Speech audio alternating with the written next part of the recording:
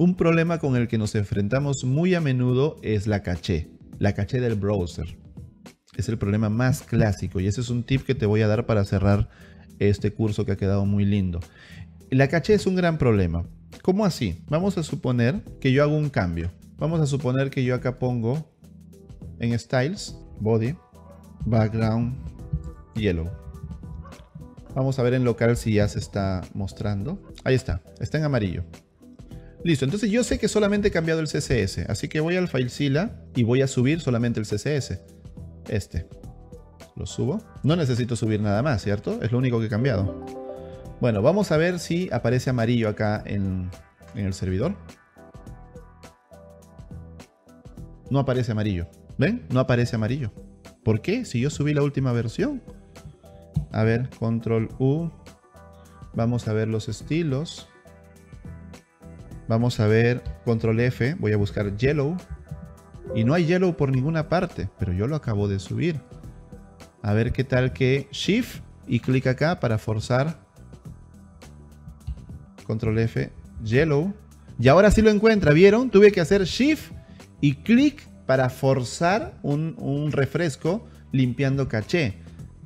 Ese es uno de los problemas más grandes cuando trabajas con este tipo de páginas y con clientes. Tú haces el cambio y no le vas a decir a tu cliente, haz con shift y luego clic. Por último lo hará, pero él no le va a decir a todos sus visitantes de su página que hagan eso. Es una tontería. Entonces, ¿cómo lidiar? ¿Qué, ¿Qué, está pasando? Que el navegador guarda la última versión. ¿Qué cosa es la caché del navegador? Es una memoria que tiene el navegador donde guarda los assets, imágenes, JavaScript, CSS, etc. Los guarda, ¿por qué? Porque cuando tú vuelves a la página, el navegador dice, esa página ya la visitó este usuario, sí. Entonces tengo guardados sus assets, voy a, voy a traerme los assets que ya tengo guardados. ¿Para qué? Para no traérmelos desde internet y no estar gastando conexión, no estar gastando ancho de banda. El problema es que si el asset que tiene en su memoria ya no es igual al que está en internet, porque el que está en internet es nuevo, el cliente, el usuario va a seguir viendo la versión antigua. Aunque tú estés viendo la versión nueva, el usuario va a seguir viendo la versión antigua.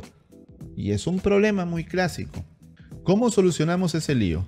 Con un truco llamado caché boosting que es romper la caché o, ¿no? o, borrarla. Hay un plugin. Miren, hay varios en realidad. Gulp Caché Boost, Caché Booster, Gulp Booster, etc. Hay varios. Pero en, resumidas cuentas, el truco es el siguiente. Tú puedes hacerlo a mano o puedes automatizarlo. El truco es que en lugar de llamar a styles.css, lo llames con un parámetro. Es decir, lo llames algo así. Styles o, lo voy a mostrar en el código. Template, acá. Lo llames así, miren. Interrogación y digamos versión o lo que tú quieras. Puedes llamarle Pepito, no importa. Pero si quieres versión, ¿no? O incluso, pues, eh, la fecha, ¿no? A, a, veces se acostumbra a eso también. Por ejemplo, 2018, 10, 05, ¿no? O sea, la fecha. Lo que tú quieras, realmente no hay una obligación de qué debe ir acá. Lo importante es que esto sea un parámetro con el, con el signo de interrogación. Eso hace que el browser se dé cuenta que realmente es una nueva versión y debe traerse ese asset desde internet nuevamente.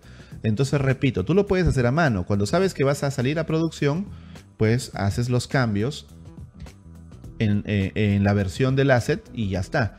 O también lo puedes automatizar con plugins que están por acá, pues, ¿no? Este se ve muy fácil, miren. Simplemente dice pipe cache boost type timestamp, es decir, va, a imprimir una huella temporal, un sello temporal, va a imprimir en, los assets y ya está. Entonces vamos a instalar Galp Cache Boost. Muy bien. Vamos a detener. npm install save dev y voy a pegar. Eso. Enter.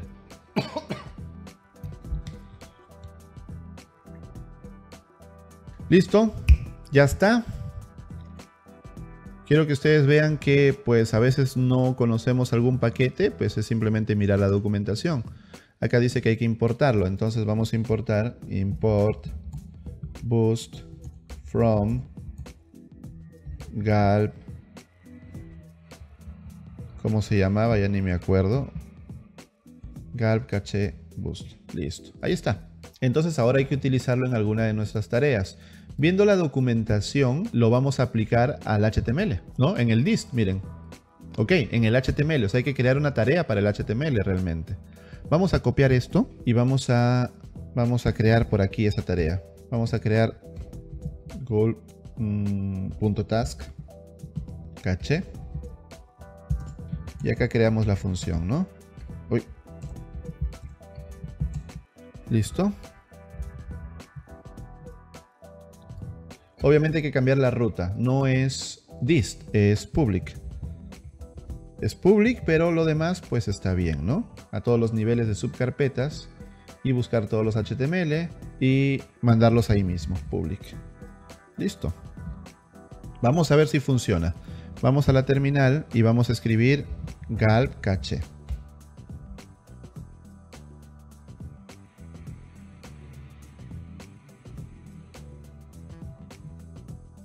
Ay, algo falló.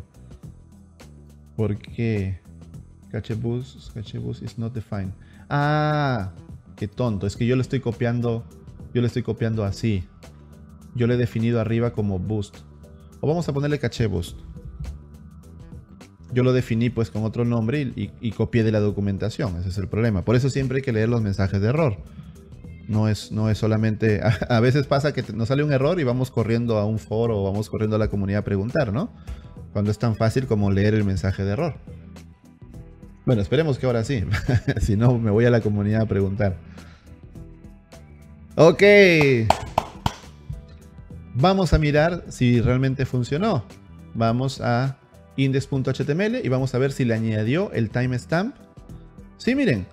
Miren, ¿ah? Styles.css interrogación T igual y ahí está el timestamp. La huella temporal. ¿Qué les parece? A ver JavaScript que está abajo. JavaScript, miren. Le añadió también el timestamp. ¿Qué les parece? Espectacular.